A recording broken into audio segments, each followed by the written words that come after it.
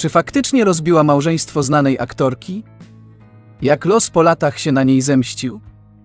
Jako komentarz powiem, że nie jest tajemnicą, że w 2008 roku aktorka straciła głowę dla reżysera filmu Wszystko co kocham, w którym grała jedną z głównych ról. Ze starszym o 16 lat Jackiem Borcuchem, Olgę Frycz połączyła namiętność, której ani ona, ani on nie potrafili się oprzeć. Nie byłoby nic niewłaściwego w tym, że dwoje ludzi chce być ze sobą, gdyby nie fakt, że Borcuch miał żonę i trzyletnią córkę. Z perspektywy czasu wiem, że nie powinnam wchodzić w te relacje, wyznała aktorka po latach, wspominając swój związek z żonatym mężczyzną.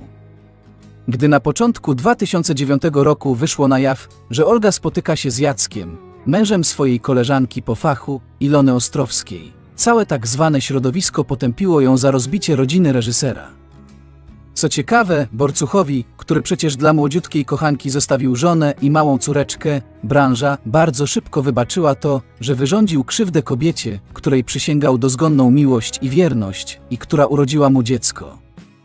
Mnie się dostało najbardziej, bo zawsze dostaje się młodym dziewczynom. Ja byłam złem wcielonym, stwierdziła Olga po latach, opowiadając o swoim związku z reżyserem w podcaście żurnalisty. Co tu dużo mówić, miłość spadła na nich jak grom z jasnego nieba. Uczucie między Olgą a Jackiem wybuchło na planie filmu Wszystko co kocham. Miłość spadła na nich jak grom z jasnego nieba i bardzo skomplikowała ich, a zwłaszcza jego życie. O ile 25-letnia wówczas Frycz nie miała żadnych zobowiązań, o tyle Borcuch stanął przed bardzo trudnym wyborem: albo nowa miłość, albo rodzina. Wybrał niestety romans. Olga Frycz zarzeka się dziś, że nie była świadoma, to jej słowa, sytuacji, która jest. Była przekonana, że małżeństwo Jacka i Ilony Ostrowskiej od dawna istnieje już tylko na papierku, że reżyser i aktorka nie są razem. Wchodząc w to zakochanie, nie miałam pojęcia o sytuacji, która jest. Oczywiście bardzo szybko się dowiedziałam, że tam jest taka sytuacja, ale już bardzo, bardzo kochałam. Związałam się z żonatym mężczyzną. Jakby jedyne, co mam na swoje usprawiedliwienie, to to, że byłam bardzo zakochana, bardzo powiedziała 15 lat później. Faktem jest, że Borcuch poprosił żonę o rozwód, by móc ożenić się z Olgą. Ilona Ostrowska nie potrafiła pogodzić się z tym, że mąż zostawił ją dla innej kobiety, miała przeczucie, że Jacek się opamięta i wróci do niej, więc nieśpieszno jej było zwrócić mu wolność.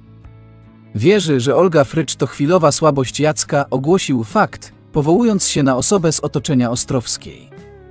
Olga i Jacek przez wiele miesięcy udawali, że nic ich nie łączy. Pojawiali się na tych samych imprezach, ale pytani o swoją relację, twierdzili, że to tylko znajomość. Skandal wybuchł dopiero, gdy Ilona Ostrowska pożaliła się w jednym z wywiadów, że mąż ją zostawił. O niewiernym reżyserze i jego młodej muzie mówiła cała Polska. Za Iloną murem stanęło środowisko. Olga z kolei została potępiona przez koleżanki i kolegów po fachu. Atmosferze w związku Frycz i Borcucha nie sprzyja towarzyski ostracyzm. Ilona jest bowiem bardzo lubiana w środowisku, Olga niekoniecznie informowały plotkarskie media. Gdy w 2012 roku Jacek w końcu dostał upragniony rozwód, Olga potwierdziła w rozmowie, że szykuje się do ślubu z ukochanym, zdradzając przy okazji, że marzy się jej uroczystość inna niż wszystkie. Niestety, na marzeniach się skończyło. W końcu aktorka podjęła decyzję, bo nie chciała tkwić w związku bez przyszłości. W listopadzie 2014 roku stołeczne salony obiegła wiadomość, że Olga i Jacek rozstali się po sześciu latach bycia parą. Fakt natychmiast podał przyczynę rozpadu związku aktorki i reżysera. Olga miała dość znikania Jacka na długie wieczory. Dochodziły do niej niepokojące informacje o pięknej blondynce, z którą spędza dużo czasu. Nie spała przez to po nocach i była chodzącym kłębkiem nerwów, zawyrokował Brukowiec, dodając, że Frycz uznała, iż nie ma sensu dłużej tkwić w związku bez przyszłości. Inną diagnozę postawiło na żywo. Aktorka pełna wigoru chciała zwiedzać świat, a on zamykał się w sobie, dręczyły go myśli o nieuchronności przemijania, filozofował autor artykułu. Ani Olga, ani Jacek nie komentowali plotek o powodach rozstania. Czy Olga Frycz przestała marzyć o miłości? Dopiero wiele lat później Olga Frycz zdecydowała się opowiedzieć, co tak naprawdę wydarzyło się między nią a Jackiem Borcuchem. Wyznała, że będąc w związku z reżyserem, wcale nie czuła się szczęśliwa. My tak niby byliśmy razem. To była jakaś paranoja. Ja się czułam wtedy bardzo niedowartościowana, zakompleksiona, smutna, poskarżyła się żurnaliście. Już teraz wiem, że nigdy więcej bym się w taką sytuację nie wplątała. To jest taka rzecz, która leży mi na sercu i czuję, że to nie było dobre zachowanie. Z perspektywy czasu wiem, że nie powinnam wchodzić w te relacje, stwierdziła. Los zemścił się na Oldze za to, że zniszczyła rodzinę Ilony Ostrowskiej. Nie udało się jej stworzyć trwałego związku z ojcem jej córki Heleny. Grzegorz Sobieszek kilka miesięcy temu zaręczył się z inną kobietą, rozstała się też z Łukaszem Nowakiem, któremu w 2021 roku urodziła córkę Zofię.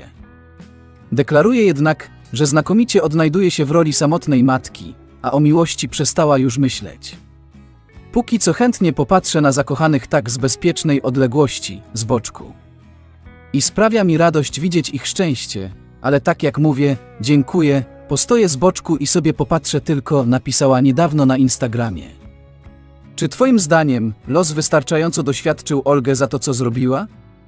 Dziękuję, że jesteś, subskrybuj kanał, trzymaj się i do usłyszenia.